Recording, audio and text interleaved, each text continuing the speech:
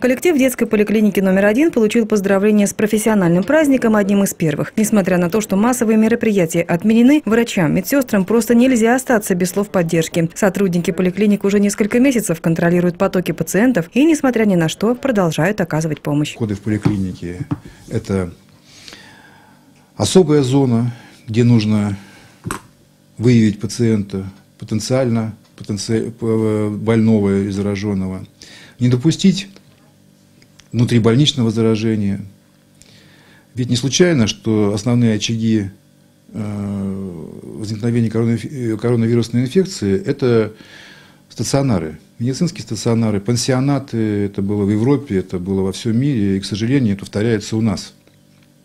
Поэтому вот этот жесточайший режим, который на сегодняшний день организован во всех организациях медицинских, в том числе и в нашей больнице, это требования этой обстановки. Главврач первой горбольницы поблагодарил медицинских работников всех уровней за профессионализм, который они продемонстрировали в эти непростые месяцы. Пациентам тоже пришлось непросто. Плановая помощь отменена, больница принимает только по жизненным показаниям, не действует дневной стационар, приостановлена диспансеризация. Но уже возобновилась вакцинация, не прекращается прием в поликлиниках, по-прежнему проводятся операции. Все это время действовал роддом, где оказывалась помощь новорожденным и их мамам. Самое главное, что мы сейчас видим, что медицина медицинские работники э, к этой ситуации подошли настолько профессионально, настолько ответственно, и не знаю ни одного человека, который бы отказался работать в этих условиях.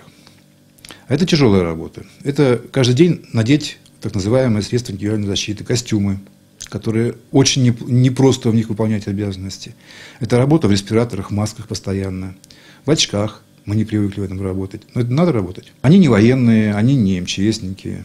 Просто санитарочки, просто э, медсестры, врачи обычные, которые в этих условиях выполняют свою профессиональную обязанность. Как отметил Юрий Шелохович, медицинские работники Ленинска-Кузнецкого трудятся не просто в условиях повышенной готовности, но и острой нехватки кадров, работая за двоих. Но, несмотря на нелегкие условия труда, продолжают отстаивать свое призвание – помогать людям. Уважаемые медицинские работники,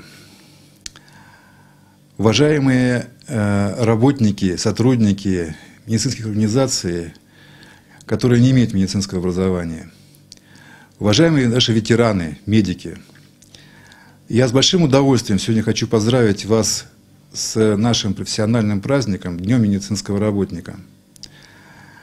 Э, хочу выразить вам огромнейшую благодарность за ваш самоотверженный труд, за ваш профессионализм. Хочется пожелать вам удовлетворение от вашей работы, благополучие в ваших семьях, самое главное – здоровье. Я верю, что этот период, нелегкий период в жизни нашей страны, нашей больницы, связанный с коронавирусной инфекцией, он пройдет. И пойдет он благодаря вам.